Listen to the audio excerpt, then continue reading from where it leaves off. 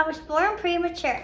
What impact could that have on the structure of my lungs, my breathing when I sleep, and my physical activity levels? Would having an MRI of my lungs help answer this? Thank you for the question. Children who are born extremely preterm, particularly those who have bronchopulmonary dysplasia or BPD, are at risk of having persisting lung abnormalities. This is because if you're born extremely preterm, your lungs have not yet had a chance to fully develop. Our study looked at whether MRI of the lungs, a way of taking pictures of the lungs, would help to define those pulmonary abnormalities and look for differences between those children who had BPD and those who didn't.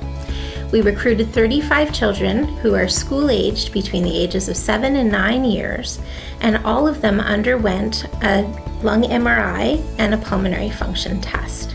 What we found was that we could detect structural lung abnormalities that were more present in the children who had a history of BPD compared to those who did not.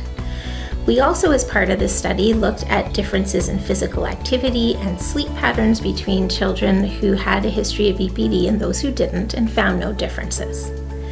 The next steps for this research are going to be to embark on a larger CIHR funded study that's going to be carried out at four centres across Canada.